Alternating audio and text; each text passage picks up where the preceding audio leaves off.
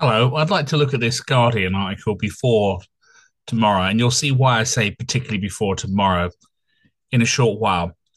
This article was from a couple of days ago, and it starts with the byline revealed International Race Science Network, secretly funded by US tech boss. Now, conspiracy theory stuff is not stuff that I generally adhere to or I find profitable to talk about. But when you look through this, on this one occasion, it would seem like these same figures keep popping up. And we'll be looking how they intersect with a particular influencer on YouTube in a bit. Group promoting dangerous scientific racism ideology teamed up with right wing extremists. An international network of race science activists seeking to influence public debate with discredited ideas on race and eugenics has been operating with secret funding from multi-millionaire US tech entrepreneur. Undercover filming has revealed the existence of the organization formed two years ago as the Human Diversity Foundation. We'll be coming back to them later. It's interesting to note the Human Diversity Foundation's website at the moment is currently got just a page saying we're not seeking any more funding or anything else, and that's it. Everything else has been locked away. But here is the man who funded them, and we'll be coming to how he funded other people in a short while. HDF received more than $1 million from Andrew Conru. If you're not familiar with Conru, he made his fortune setting up dating websites, particularly Adult Friend Finder, and his name appears on a number of um, works and things that he's funded. Now, here is a man he did fund Simon Webb of History Debunked. Now, this is Aporia, and Aporia is connected to the Human Diversity Foundation and a whole web of these things. Aporia produces rather wonderful right wing stuff going on about things like everything from the size of black men's willies, and I know I don't make that up, to stuff indicating that black people are not quite as human as the rest of us, and all sorts of other junk. But the reason I bring Webb up, I'm not going to make you watch 59 minutes of him talking. In fact, he comes he, he makes an effort to come across as more reasonable and quell some of his more extreme points. Is this book by Webb? Webb gave this book away some time ago on his website, on his sorry, on his YouTube channel, and put it down as a link. The Equalitarian Dogma: Why Ideology and Not Science Dominates Debate on Ethnicity and the modern world, Simon Webb. This book was made possible by a grant from the Conru Foundation. Now, Webb cannot possibly say I'm making that up or accusing him something that's not true or something he hasn't put in his own name and his own words. All I'm doing is reading out exactly what Webb has written on the front of that book, what he's typed and what he's allowed to be published. This book was made possible by a generous grant from the Conru Foundation. You can see him also appearing on that Aporia podcast. And if you want to look up Aporia, you'll find it's a very strange and odd publication. And some of the people connected it with it, such as Emil. W. Kirkegaard, not the not the philosopher with the same surname, I hasten to add, are very, very odd people. I'll turn to him in a minute. Let's clear that from the background. My apologies for that. The widgets get ever more out of control with Windows. Now, Simon Webb's wonderful document here this book talks about the idea of white people being Homo sapiens plus, as opposed to black people just being Homo sapiens with no plus on them. At least he doesn't give them a minus, I suppose. But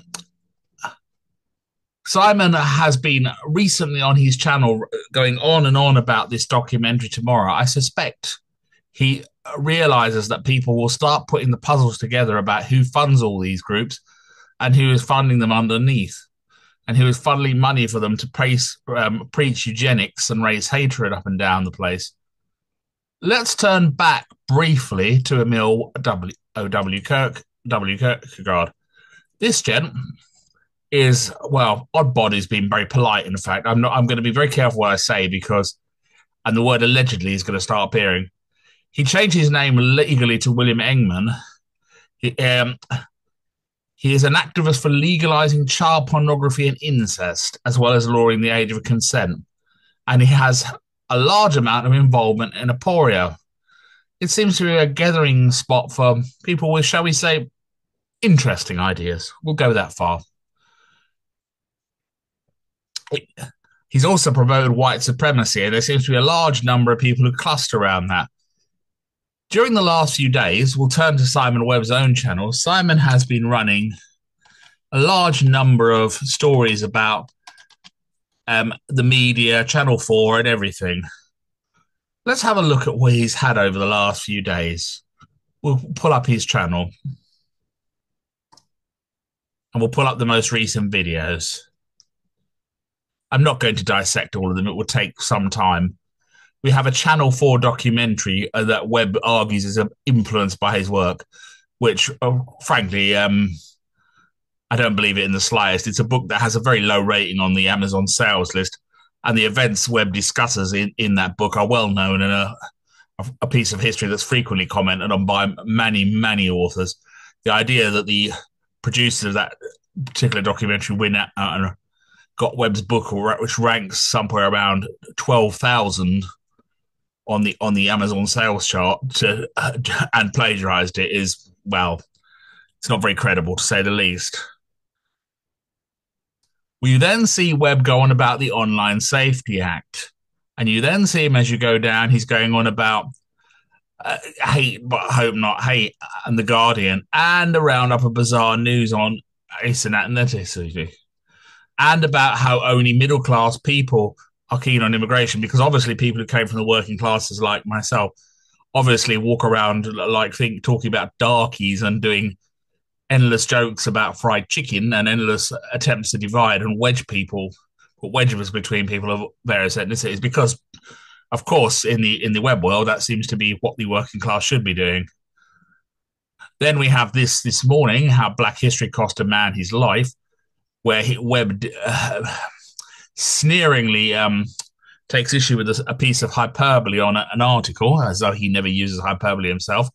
And then we have this ridiculous video about why have you never heard of this Nobel Prize winning president from South Africa, um, of the ANC rather, where Webb presumes that most people most people must be God confoundingly thick or something, where they wouldn't have heard of major figures in South African history like Chief Buthelezi or people like that, and would have just had the telly off during the 80s and 90s. Now, prior to, I'm wondering what's going to be on that documentary tomorrow and if I get time, I'm going to try and do a summary review of it. I may not get as much time as I like, because unfortunately, I have to pick up a a relative at the airport, which may or may not use up more time than I like, knowing the delays planes are subject to in the real world. But this would explain to you why Webb is throwing out these sort of um, damage limitation videos way in advance, because there are loads of channels like him where they where they are constantly uh, themed in the same style. They almost use the same thumbnails with that white typing in front of them and provocative titles. Let's see what tomorrow brings at 10 o'clock on, on that documentary.